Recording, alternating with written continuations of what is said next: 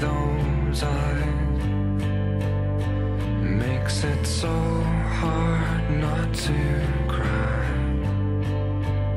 And as we say,